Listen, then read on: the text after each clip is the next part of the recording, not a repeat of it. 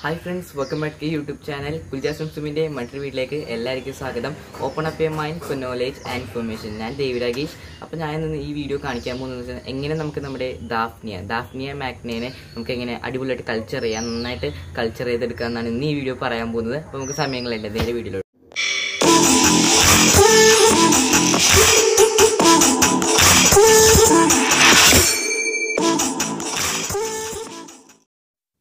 ആദ്യം തന്നെ ദാഫ്നിയെ കുറിച്ചുള്ള കുറച്ച് ബേസിക് കാര്യങ്ങളാണ് ഞാൻ പറഞ്ഞുതരാൻ പോകുന്നത്. അതിനുശേഷം നമ്മുടെ ഫാമിൽ എങ്ങനെയാണ് പ്രാക്ടിക്കലായിട്ട് ചെയ്യുന്ന ചെയ്യുന്നതെന്ന് ഞാൻ കാണിച്ചു തരാം ഒരു ജീവിയെ വളർത്തുമ്പോഴും അതിന്റെ ലൈഫ് സൈക്കിളും അതുപോലെ തന്നെ അതിന്റെ ഹാബിറ്റാറ്റും കുറിച്ചും അറിഞ്ഞിരിക്കുന്നത് വളരെ നല്ലതാണ്. ദാഫ്നി എന്ന് പറയുന്നത് വാട്ടർ ഫ്ലിയാസിൽ വെറൈറ്റിയിൽ പെട്ടൊരു ജീവിയാണ്. ഇത് നമ്മുടെ ഫിഷിനൊക്കെ കൊടുക്കാൻ പറ്റിയ ഹൈ പ്രോട്ടീൻ അടങ്ങിയിട്ടുള്ള ഒരു ലൈഫ് ഫീഡാണ് ദാഫ്നിയിൽ തന്നെ ഇരുന്നൂറ് വെറൈറ്റീസുകളുണ്ട് അതിൽ തന്നെ ഏറ്റവും കോമൺ ആയിട്ടുള്ള ഒരെണ്ണമാണ് നമ്മുടെ ദാഫ്നിയ മാഗ്ന. ദാഫ്നിയയുടെ ലൈഫ് സ്പാൻ വെച്ചാൽ എയ്റ്റ് വീക്സ് ആണ്. അതായത് ഫോർട്ടി ടു സിക്സ്റ്റി ഡേയ്സ് ആണ്. ദാഫ്നിയയിൽ പൊതുവെ മെയിൽസിനെക്കാളും വലുതായിരിക്കും നമ്മുടെ ഫീമെയിൽ ദാഫ്നിയയുടെ സൈസിനെ കുറിച്ച് പറയുകയാണെങ്കിൽ one point five M M to five M M വരെയാണ് നമ്മുടെ ദാഫ്നിയയുടെ സൈസ് വരുന്നത്. എട്ട് മുതൽ ഒമ്പത് ദിവസം വരെയാണ് ഒരു ദാഫ്നിയയുടെ അഡൽറ്റ് സ്റ്റേജിലെത്താൻ ഉള്ള വേണ്ട സമയം. അതുപോലെ തന്നെ അത് അഡൽറ്റ് സ്റ്റേജിലെത്തിക്കഴിഞ്ഞാൽ ആറ് മുതൽ ഒമ്പത് മുട്ടകൾ വരെ ആണ് ഇടുന്നത്. പല മെത്തേഡ് ഉപയോഗിച്ച് ഇതിനെ കൾച്ചർ ചെയ്യാം. എന്തൊക്കെയാണെന്ന് വെച്ച് കഴിഞ്ഞാൽ നമ്മുടെ ഈസ്റ്റ് കൊണ്ട് കൾച്ചർ ചെയ്യാം. സ്പൈലറീന പൗഡർ കൊണ്ട് കൾച്ചർ ചെയ്യാം. ആൽഗെ അതുപോലെ തന്നെ ഗ്രൗണ്ട് നട്ട് കേക്ക് കൊണ്ട് വരെ നമുക്ക് നമ്മുടെ ദാഫ്നിയനെ കൾച്ചർ ചെയ്യാൻ പറ്റും. ഇതിന് ആവശ്യമായിട്ടുള്ള ലൈറ്റ് എന്ന് പറഞ്ഞാൽ പന്ത്രണ്ട് മണിക്കൂർ ലൈറ്റും അതുപോലെ തന്നെ പന്ത്രണ്ട് മണിക്കൂറും ഡാർക്ക് ആണ് ഇതിന് വേണ്ടത്. ഇവയെ വളർത്തുമ്പോൾ ഡയറക്റ്റ് സൺലൈറ്റ് അടിക്കുന്ന സ്ഥലത്ത് വെക്കരുത്. അല്ലാതെ സെമി ഷെയ്ഡഡ് ആയിട്ടുള്ള സ്ഥലത്ത് വെച്ച് വളർത്താം. അല്ലെങ്കിൽ നമുക്ക് ആർട്ടിഫിഷ്യൽ ലൈറ്റ് കൊടുത്ത് വളർത്താം. ഡയറക്റ്റ് സൺലൈറ്റിന്റെ അടുത്ത് അടിയിൽ വെച്ചിട്ട് നമ്മുടെ ഇതിനെ നമ്മുടെ ദാഫ്നിനെ കൾച്ചർ ചെയ്യരുതെന്ന് പറയേണ്ട പ്രധാന കാര്യം എന്താണെന്ന് വെച്ച് കഴിഞ്ഞാൽ ടെമ്പറേച്ചറാണ് ഇവർ ടെമ്പറേച്ചർ എപ്പോഴും കീപ്പ് ചെയ്യേണ്ടതെന്ന് വെച്ച് കഴിഞ്ഞാൽ എയ്റ്റീൻ ഡിഗ്രി സെൽഷ്യസ് ടു ഒരു ട്വന്റി ടു ഡിഗ്രി സെൽഷ്യസ് ആണ്. ഇവർ എപ്പോഴും പ്രിഫർ ചെയ്യുന്നത് ഇത്തിരി തണുത്ത സ്ഥലമാണ്. അതുകൊണ്ടാണ് നമ്മൾ എപ്പോഴും പറയുന്നത് തന്നെ ഡയറക്റ്റ് സൺലൈറ്റിന്റെ അടിയിൽ വെക്കരുത്. കാരണം എന്താണെന്ന് വെച്ച് കഴിഞ്ഞാൽ ഡയറക്റ്റ് സൺലൈറ്റ് അടിക്കുമ്പോൾ നമ്മുടെ വെള്ളം ചൂടാവാനുള്ള സാധ്യതയുണ്ട്. അതുപോലെ നമ്മുടെ ദാഫ്നികൾ ചത്തുപോകാനുള്ള സാധ്യതയുണ്ട്. അതുകൊണ്ടാണ് നമ്മൾ എപ്പോഴും പ്രിഫർ ചെയ്യുന്നത് നമ്മുടെ ഒരു ഷെയ്ഡഡ് ആയിട്ടുള്ള സ്ഥലത്ത് വെച്ച് വളർത്താൻ. ഫീഡിങ് ഇവരൊരു പ്രധാന ഘടകമാണ്. കാരണം എന്താണെന്ന് വെച്ച് കഴിഞ്ഞാൽ ഇവർക്ക് സെഷ്വലിയും അസെഷ്വലിയും ഇവർക്ക് ബ്രീഡ് ചെയ്യാൻ പറ്റും. അതായത് ഒരു ആണിന്റെ പ്രസൻസ് ഇല്ലാതെ തന്നെ ഇവർക്ക് ബ്രീഡ് ചെയ്യാൻ പറ്റും. ഫുഡ് പ്രോപ്പറായിട്ട് കിട്ടാത്തപ്പോൾ അല്ലെങ്കിൽ ടെമ്പറേച്ചറിൽ വ്യത്യാസങ്ങൾ ഉണ്ടാകുമ്പോഴോ ഇവർ ബ്ലാക്ക് എഗ്ഗായിരിക്കും ഇടുന്നത് അതിനർത്ഥം അതിൽ മുഴുവൻ മെയിൽസ് ആയിരിക്കും എന്നാണ് അല്ലെങ്കിൽ നമ്മുടെ ടെമ്പറേച്ചർ എല്ലാം കറക്റ്റ് ആണെങ്കിൽ നന്നായിട്ട് ഫീഡ് കൊടുത്ത് നമ്മൾ വളർത്തുകയാണെങ്കിൽ അതിൽ നിന്ന് നമുക്ക് കാണാൻ പറ്റുന്നൊരു ഗ്രീൻ അല്ലെങ്കിൽ ട്രാൻസ്പെറന്റ് ഗ്രീൻ കളർ എഗ് ആയിരിക്കും. അതിനർത്ഥം അതിൽ മുഴുവൻ ഫീമെയിൽ ആയിരിക്കും എന്നാണ് നല്ല രീതിയിൽ കൾച്ചർ മെയിന്റെയിൻ ചെയ്യണമെങ്കിൽ നല്ല ഫുഡും കറക്റ്റായിട്ട് ടെമ്പറേച്ചർ കീപ്പ് ചെയ്താൽ മാത്രമാണ് ഇവർ ഫീമെയിൽസിനെ പ്രൊഡ്യൂസ് ചെയ്യുള്ളൂ. ദാഫ്നിയയുടെ പ്രെഡിറ്റേഴ്സിനെ കുറിച്ച് പറയുകയാണെങ്കിൽ മോസ്കിറ്റോ ലാവ അതുപോലെ തന്നെ നമ്മുടെ പ്ലമേറിയ. പ്ലമേറിയ എന്തുകൊണ്ടാണ് നമ്മുടെ ടാങ്കിൽ വരുന്നതെന്ന് വെച്ച് കഴിഞ്ഞാൽ ഓവർ ഫീഡിങ് മൂലമാണ് നമ്മുടെ ടാങ്കിൽ പ്ലമേറിയ വരുന്നത്.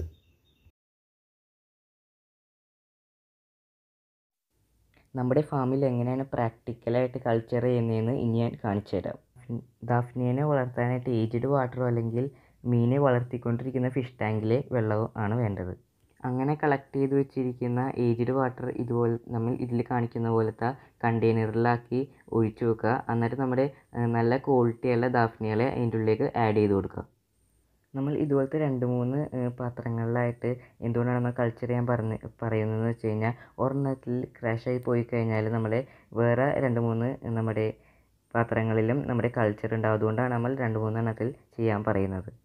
നമ്മൾ ആദ്യം തന്നെ ഒരു വലിയ ഫിക്സ് ഫ്രിഡ്ജ് ബോക്സിലോട്ട് നമ്മുടെ കൾച്ചർ മാറ്റിയാൽ പറ്റുന്ന പ്രശ്നം എന്താണെന്ന് വെച്ച് കഴിഞ്ഞാൽ നമ്മൾ കൊണ്ടുപോയി ഫുഡ് ഇട്ട് കൊടുക്കുമ്പോൾ അവർക്ക് കറക്റ്റായിട്ട് ഫുഡ് കിട്ടിക്കൊള്ളണമെന്നില്ല അല്ലെങ്കിൽ നമ്മളിപ്പോൾ ഫ്രിഡ്ജ് ഫ്രിഡ്ജ് ബോക്സ് ആണെങ്കിൽ നമ്മൾ ഫുഡ് ഇട്ട് കൊടുക്കുമ്പോൾ ഓവർ ഫീഡ് ആയി അതായത് ചത്തുപോകാനും സാധ്യതയുണ്ട്. അതുകൊണ്ട് തന്നെ നമ്മുടെ ഈ ചെറിയ നമ്മുടെ ചെറിയ ഇതുപോലത്തെ ഡപ്പിക്കകത്തൊക്കെ ഇട്ട് അല്ലെങ്കിൽ കുപ്പിക്കകത്തൊക്കെ ഇട്ട് കൾച്ചർ ചെയ്യുമ്പോൾ അത് കറക്റ്റായിട്ട് നമുക്ക് കെയറും ഫീഡും അതുപോലെ തന്നെ ഓവർ ഫീഡ് ആവാണ്ട് നോക്കാൻ പറ്റും. അതുകൊണ്ട് തന്നെ ഇങ്ങനെ നമ്മൾ രണ്ടാഴ്ച വളർത്തി നന്നായിട്ട് കൾച്ചർ ചെയ്തിട്ട് ഒരു വലിയ ഫ്രിഡ്ജ് ബോക്സിലോട്ട് മാറ്റുന്നതായിരിക്കും എപ്പോഴും നല്ലത്. എന്നിട്ട് രണ്ടാഴ്ച കൊണ്ട് നന്നായിട്ട് വളർന്ന നമ്മുടെ ദാഫ്നിയകളെ നമ്മൾ ഫ്രിഡ്ജ് ബോക്സിലായിട്ട് ആഡ് ചെയ്തിട്ട് കെയറിങ് അതുപോലെ തന്നെ എന്തൊക്കെ ഫുഡ് കൊടുക്കാം എങ്ങനെ ഹാർവെസ്റ്റ് ചെയ്യാമെന്ന് നമുക്ക് നോക്കാം. അപ്പോൾ ഈ ഫീഡാണ് ഞങ്ങൾ ഡാഫ്നിയക്ക് ഫീഡ് ചെയ്യുന്നത്. അതായത് നമ്മുടെ ഈസ്റ്റ് ഇൻസ്റ്റന്റ് ഈസ്റ്റ് അതായത് പൊടിയായിട്ടുള്ള ഇൻസ്റ്റന്റ് ആണ് നമ്മൾ ഫീഡ് ചെയ്യുന്നത്. അപ്പോൾ നമുക്ക് എങ്ങനെ നമ്മുടെ ഡാഫ്നിയക്ക് ഇത് ഫീഡ് ചെയ്യാമെന്ന് നമുക്ക് അപ്പം നമ്മുടെ ഫ്രിഡ്ജ് ബോക്സിൽ കുറേ ഡാഫ്നികളുള്ളതുകൊണ്ട് നമ്മൾ ഇത് ഈസ്റ്റ് നാല് സ്പൂണാണ് ഇത് ഈ ഒരു ഐസ്ക്രീമിന്റെ ചെറിയൊരു സ്പൂണിൽ നാല് സ്പൂണാണ് നമ്മൾ ഇട്ട് കൊടുക്കാൻ പോകുന്നത്. ജസ്റ്റ് കാണിച്ചു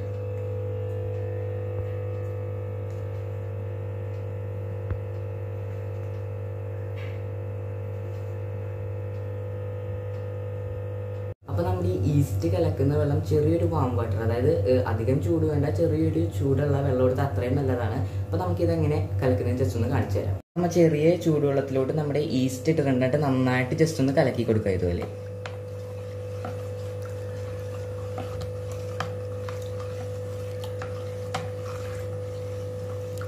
അപ്പോൾ നമ്മൾ ഈസ്റ്റ് കലക്കി വെച്ച വെള്ളം നമ്മുടെ ദാഫ്നിക്ക് ഫീഡ് ചെയ്യാൻ പോവാണ്. അങ്ങനെയെന്ന് ജസ്റ്റ് നോക്കിക്കോളൂ. അപ്പം ഫീഡ് ചെയ്യുമ്പോൾ ജസ്റ്റ് ഇവിടെ ഫുള്ള് ഇങ്ങനെ ഒഴിച്ചു കൊടുക്കുക. ഒരു സ്ഥലത്ത് തന്നെ ഒഴിച്ചു കൊടുക്കാണ്ടിരിക്കാൻ ശ്രമിക്കുക. ജസ്റ്റ് സ്പ്രെഡ് ആയിട്ട് ഇങ്ങനെ ഒഴിച്ചു കൊടുക്കാൻ ശ്രമിക്കുക.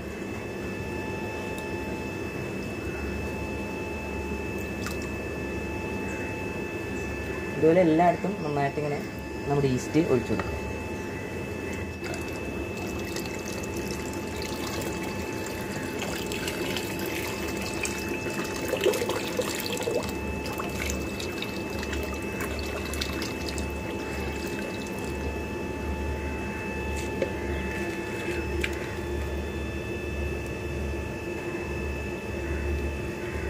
ഉള്ള ഒരു ഡൗട്ടായിരിക്കും നമ്മുടെ ഡാഫ്നിയക്ക് എത്രത്തോളം ഫുഡ് കൊടുക്കണം അതിൽ എത്രത്തോളം ഈസ്റ്റ് കലക്കിയിട്ട് ഒഴിക്കണമെന്ന്. അതിന് കറക്റ്റായിട്ടുള്ളൊരു ഒരു അളവൊന്നുമില്ല അതായത് കറക്റ്റ് നമ്മുടെ ഫിഷിന് കൊടുക്കുന്ന ഒരു അളവൊന്നുമില്ല. ഇതിന് നമ്മൾ ഫിഷിന് ചില ഫിഷിനൊക്കെ നമ്മൾ കൊടുക്കത്തില്ലേ? കുറേ ഡെൻസിറ്റി ഉണ്ടാകുമ്പോൾ നമുക്കൊരു അളവ് വെച്ചിട്ടാണ് കൊടുക്കുക. അതായത് നിങ്ങളുടെ നിങ്ങൾക്കൊരു ഇതിലുണ്ട്? എത്രത്തോളം ഡാഫ്നി കൂടുതലുണ്ടോ?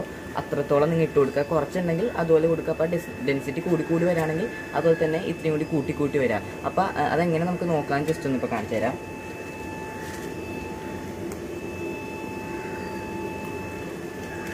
ഈ വെള്ളം എടുത്ത് ഇങ്ങനെ ഇതുപോലെ നമ്മൾ ആ, ഒഴിച്ചു കൊടുത്ത ഡാഫ്നിയിൽ നിന്ന് വെള്ളം ഒഴിച്ച് നോക്കുമ്പോൾ ചെറു കഞ്ഞിവെള്ളം പോലെ അഥവാ ഒരു ലൈറ്റായിട്ടൊരു കഞ്ഞിവെള്ളം അതുപോലെ ചെറിയൊരു പാലിന്റെ പോലെ ഒരു കളർ മാറുമ്പോൾ അപ്പോൾ നമുക്ക് മനസ്സിലാക്കാം. അത് കറക്റ്റ് ഫീഡിംഗ് ആണ് അത്രത്തോളം നമുക്ക് ഒഴിച്ചു കൊടുക്കാൻ ഇപ്പം നമുക്ക് എല്ലാവർക്കും ഉള്ളൊരു വേറൊരു ഡൗട്ടായിരിക്കും നമ്മുടെ ദാഫ്നി കൾച്ചർ ചെയ്യുന്ന ടാങ്കിൽ എയറേഷൻ വേണോ എന്നുള്ളത്. എയറേഷൻ ഇല്ലെങ്കിൽ ഒരു പ്രശ്നവും ഇല്ല. നമ്മൾ എന്താ പക്ഷേ ഒരു മൈന്യൂട്ട് എയറേഷൻ കൊടുത്തുന്നേ ഉള്ളൂ. എയറേഷൻ ഇടുമ്പോൾ ശ്രദ്ധിക്കേണ്ട കാര്യം എന്ന് വെച്ച് കഴിഞ്ഞാൽ ഇപ്പോൾ ഫ്രിഡ്ജ് ബോക്സിലൊക്കെ ആണെങ്കിൽ തന്നെ ഒരു കോർണറിൽ കൊണ്ടിട്ട് കൊടുക്കാൻ ശ്രമിക്കുക. കാരണം എന്താണെന്ന് വെച്ച് കഴിഞ്ഞാൽ ചില ദാഫ്നികൾക്കൊക്കെ എയറേഷൻ ഇഷ്ടമായിരിക്കും ചിലവർക്ക് എയറേഷൻ ഇഷ്ടമല്ലായിരിക്കും അപ്പോൾ അവർക്ക് ഇഷ്ടത്തിന് വേണ്ടി ചിലപ്പോൾ എയറേഷന്റെ അടുത്ത് നിൽക്കാം. അല്ലെങ്കിൽ എയറേഷൻ ഇഷ്ടമല്ലാത്തവർക്ക് എയറേഷനിൽ നിന്ന് മാറിപ്പോയി നിൽക്കാം. അതിനുവേണ്ടിയാണ് നമ്മൾ പറയുന്നത് ഒരു കോർണറിൽ കൊണ്ട് നമ്മുടെ എയറേഷൻ ഇട്ട് കൊടുക്കാൻ. അതുപോലെ തന്നെ ശ്രദ്ധിക്കേണ്ട വേറൊരു കാര്യം എന്ന് വെച്ച് കഴിഞ്ഞാൽ നമ്മുടെ ദാഫ്നിയെ കൾച്ചർ ചെയ്യുമ്പോൾ ഒരു ടാങ്കിലല്ലാതെ രണ്ട് മൂന്ന് ടാങ്കിലായിട്ട് കൾച്ചർ ചെയ്യുക പിന്നെ ദാഫ്നിയ നന്നായിട്ട് വളരാനായിട്ടുള്ള വേണ്ട സംഭവം എന്ന് വെച്ച് കഴിഞ്ഞാൽ വാട്ടർ ചേഞ്ച് ആണ്. വാട്ടർ ചേഞ്ച് ചെയ്യുമ്പോൾ ശ്രദ്ധിക്കേണ്ട സംഭവം എന്ന് വെച്ച് കഴിഞ്ഞാൽ നമ്മൾ ഈ ഓസ് ഇട്ട് ലെവൽ ഓസൊക്കെ ഇട്ടിട്ട് താഴെ നിന്നായിരിക്കും നമ്മൾ അഴുക്കൊക്കെ ഇങ്ങനെ സക്ക് ചെയ്ത് കളയാം വേസ്റ്റൊക്കെ അപ്പോൾ ചെയ്യുമ്പോൾ ശ്രദ്ധിക്കേണ്ട കാര്യം എന്ന് വെച്ച് കഴിഞ്ഞാൽ ഫുൾ അഴുക്ക് താഴെയുള്ള ഫുൾ ഇങ്ങനെ വലിച്ചെറിയരുത്. കാരണം എന്താണെന്ന് വെച്ച് കഴിഞ്ഞാൽ നമ്മുടെ ദാഫ്നിയ മുട്ട ഇടുന്നവരാണ്. അപ്പോൾ മുട്ട ഇടുമ്പോൾ താഴെയാണ് മുട്ട പോയി കിടക്കുന്നത്. നിങ്ങൾക്ക് എല്ലാവർക്കും അറിയാമല്ലോ താഴെ മുട്ടയിട്ട് കൊടുക്കുമ്പോൾ അതും കൂടി അതിന്റെ ഒപ്പം പോരാനുള്ള സാധ്യതയുണ്ട്. അതുകൊണ്ട് അങ്ങനെ അടിപൊളിയായിട്ട് ഭയങ്കരമായിട്ട് വാട്ടർ ചെയ്ത് താഴേക്ക് നിന്ന് ചെയ്യാണ്ടിരിക്കാൻ ശ്രദ്ധിക്കേണ്ടതുണ്ട്. അടുത്തായിട്ട് നമുക്ക് വേണ്ടത് ബീക്കോസിൽ ക്യാപ്സ്യൂൾസ് ആണ്. ഇത് ആഴ്ചയിൽ രണ്ടെണ്ണം വീതം നമ്മുടെ ഫ്രിഡ്ജ് ബോക്സിലൊക്കെ ആണെങ്കിൽ രണ്ടെണ്ണം വീതം പൊട്ടിച്ച് ജസ്റ്റ് മിക്സ് ചെയ്ത് ഇടണം. ഇതിന്റെ ഉള്ളിലുള്ളത് നമ്മുടെ വിറ്റാമിൻ സി അതുപോലെ ബി ക്ലോംബസ് ഇതുമാണ് ഇതിന്റെ ഉള്ളിലുള്ളത്. സാധാരണ നമ്മുടെ മെഡിക്കൽ ഷോപ്പിലൊക്കെ വാങ്ങാൻ കിട്ടുന്ന ഒരു ക്യാപ്സ്യൂൾ തന്നെയാണ്. അപ്പോൾ ഇത് എങ്ങനെയാണ് നമ്മൾ മിക്സ് ചെയ്യുന്നത്? അല്ലെങ്കിൽ ഇത് എങ്ങനെയാണ് നമ്മൾ നമ്മുടെ ടാങ്കിലോട്ട് ഒഴിക്കുന്നത്? ജസ്റ്റ് നമ്മളൊന്ന് കാണിച്ചു തരാം.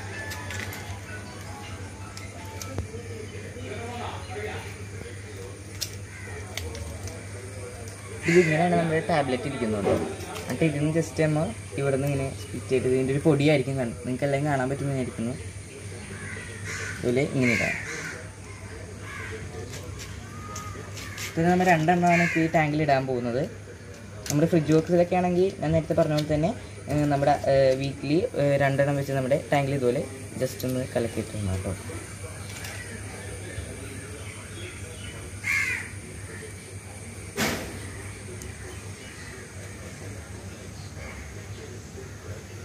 അത് ജസ്റ്റ് നന്നായിട്ടൊന്ന് മിക്സ് ചെയ്യുക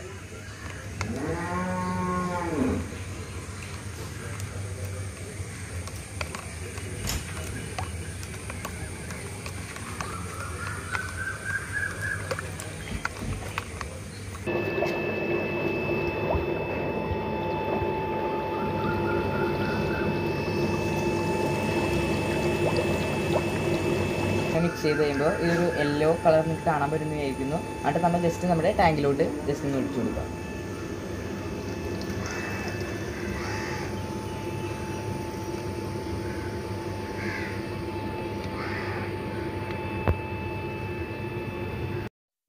അപ്പോൾ നമ്മുടെ ദാഫ്നിയുടെ ടാങ്ക് സെറ്റപ്പ് ചെയ്യുമ്പോൾ ശ്രദ്ധിക്കേണ്ട കുറച്ച് കാര്യങ്ങളെക്കുറിച്ചാണ് ഇനി ഞാൻ പറഞ്ഞു തരാൻ പോകുന്നത്. അതായത് നമ്മുടെ ഇപ്പോൾ വീഡിയോ നിങ്ങൾക്ക് കണ്ടാൽ അറിയാൻ പറ്റും. നമ്മൾ ഡഗ് വീഡ് ഇട്ടിട്ടുണ്ട്. അതുപോലെ തന്നെ നമ്മുടെ പോണ്ട് സ്നേ സെയിലിനെയും ഈ ഇതിന്റെ ഒപ്പം ഇട്ടിട്ടുണ്ട്. എന്തിനാണെന്ന് ഞാൻ ഇപ്പോൾ പറഞ്ഞുതരാം നിങ്ങൾക്ക് കാണാൻ പറ്റുന്നത് അതിന്റെ ഉള്ളിൽ നമ്മുടെ ബ്ലാക്ക് കളർ ചെറിയ ഒച്ചനെ കണ്ടിട്ടില്ല. അത് നമ്മുടെ പോണ്ട് സ്നെയിൽ എന്നാണ് അതിനെ പറയുക ചെറുതായത് മിക്ക നിങ്ങളുടെ ടാങ്കിലൊക്കെ ഉണ്ടാവും. അപ്പോൾ അതിന് നമ്മുടെ പോണ്ട് സ്നെയിലിനെ ഇടുന്നത് എന്തിനാന്ന് വെച്ച് കഴിഞ്ഞാൽ നമ്മുടെ ടാങ്കിൽ ചത്തുപോകുന്ന ഡാ ഡാഫ്നിയനെയൊക്കെ അത് നൈസായിട്ട് ഒന്ന് കഴിച്ചോളും. അതുകൊണ്ട് തന്നെ നമുക്ക് സ്നെയിലിന് ഇട്ടാൽ അത്രയും നല്ലതാണ്. ബട്ട് സ്നെയിലിൽ ഇടുമ്പോൾ ശ്രദ്ധിക്കേണ്ട ഒരു കാര്യം എന്ന് വെച്ച് കഴിഞ്ഞാൽ ഓവർ പോപ്പുലേഷൻ ഒരിക്കലും ആവാൻ പാടില്ല. രണ്ട് മൂന്ന് സ്നെയിലിനെ കൂടുതൽ ഒരിക്കലും ഇടരുത്. കുറേ ഇട്ട് കഴിഞ്ഞാലും കാരണം ദാഫ്നിയെ മുട്ട ഇടുന്നവരാണ്. അപ്പോൾ മുട്ട ഇടുമ്പോൾ താഴെ ചെന്ന് കിടക്കുമ്പോൾ ഇവരെടുത്ത് തിന്നാനും സാധ്യതയുണ്ട്. അതുകൊണ്ട് തന്നെ നമ്മുടെ ഒച്ചിന്റെ പോപ്പുലേഷൻ ഭയങ്കര ഒരു രണ്ട് മൂന്ന് നാലെണ്ണം ഇങ്ങനത്തെ ഒരു ടാങ്കിലൊക്കെ ആണെങ്കിൽ അത്രയും കീപ്പ് ചെയ്ത് കൊണ്ടുപോകുന്നതായിരിക്കും എപ്പോഴും നല്ലത്. പിന്നെ അതുപോലെ തന്നെ നമ്മൾ എന്തിനാണ് നമ്മുടെ ഡക്ക് വീഡ് ഇട്ടിരിക്കുന്നത്? ജസ്റ്റ് ഒന്ന് പറഞ്ഞുതരാം. ഡക്ക് വീഡ് എന്ന് വെച്ചാൽ നമ്മുടെ ഒരു നാച്ചുറൽ എൻവയോൺമെന്റ് ക്രിയേറ്റ് ചെയ്യാൻ വേണ്ടിയാണ് നമ്മൾ ഈ ഒരു സെറ്റപ്പ് ചെയ്ത് കൊടുത്തിരിക്കുന്നത്. പോൺസ്നെയിലും അതുപോലെ തന്നെ നമ്മുടെ ഡക്ക് വീടൊക്കെ ഇട്ട് കൊടുത്താൽ അത്രയും നല്ലതാണ്. നമ്മളിപ്പോൾ എന്താ ചെയ്യാൻ പോകുന്നതെന്ന് വെച്ച് കഴിഞ്ഞാൽ നമ്മുടെ ഡാഫ്നിയനെ നമ്മൾ ഹാർവെസ്റ്റ് ചെയ്യാൻ പോവുകയാണ് അതിന് നിങ്ങൾക്ക് ആവശ്യമുള്ള സാധനം എന്ന് വെച്ച് കഴിഞ്ഞാൽ നെറ്റ് അഥവാ നമ്മുടെ ഇതുപോലത്തെ ഒരു അരിപ്പായാലും മതി. അതിട്ട് നമുക്ക് എങ്ങനെയാണ് ഹാർവെസ്റ്റ് ചെയ്യണം ജസ്റ്റ് ഒന്ന് കാണിച്ചു തരാം.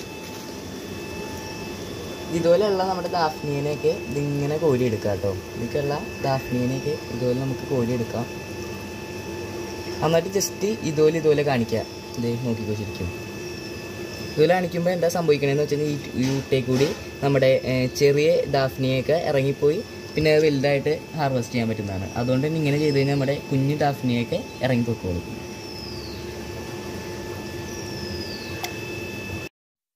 നമ്മുടെ ഈ കൾച്ചർ മെയിന്റെയിൻ ചെയ്യാൻ മൂന്നേ മൂന്ന് കാര്യങ്ങൾ ശ്രദ്ധിച്ചാൽ മതി. ഒന്നാമത് കറക്റ്റ് ഇടവേളകൾ അനുസരിച്ച് നമ്മുടെ വാട്ടർ ചേഞ്ച് ചെയ്യുക രണ്ടാമതായിട്ട് കറക്റ്റ് സമയത്ത് കറക്റ്റ് ക്വാണ്ടിറ്റി ഫീഡ് ചെയ്യുക മൂന്നാമതായിട്ട് കറക്റ്റ് ഒരു ഇടവേളയിൽ നമ്മുടെ നമ്മുടെ ദാഫ്നിയനെ ഹാർവെസ്റ്റ് ചെയ്യുക ഈ മൂന്നേ മൂന്ന് കാര്യങ്ങൾ ശ്രദ്ധിച്ചാൽ നമ്മുടെ ദാഫ്നിയനെ കറക്റ്റായിട്ട് മെയിന്റെയിൻ ചെയ്യാൻ പറ്റും. അപ്പോൾ നിങ്ങൾക്ക് എന്റെ ഈ ചെറിയ വീഡിയോ ഇഷ്ടപ്പെടുന്നെങ്കിൽ ഇഷ്ടപ്പെടുമെങ്കിൽ ലൈക്ക് ചെയ്യുക സബ്സ്ക്രൈബ് ചെയ്യുക നോട്ടിഫിക്കേഷൻ ബില്ലും കൂടി നിൽക്കാൻ മറക്കരുത്. നോട്ടിഫിക്കേഷൻ ബില്ലും കൂടി എനേബിൾ ചെയ്താലാണ് ഞാൻ തുടർന്ന് എല്ലാ നല്ല വീഡിയോസും നിങ്ങളുടെ മുമ്പിൽ നോട്ടിഫിക്കേഷൻ ലഭിക്കുകയുള്ളൂ അതുപോലെ തന്നെ നിങ്ങളുടെ അഭിപ്രായങ്ങളും നിർ- നിർദ്ദേശങ്ങളും നിങ്ങളുടെ കമന്റിൽ രേഖപ്പെടുത്താൻ മറക്കരുത്.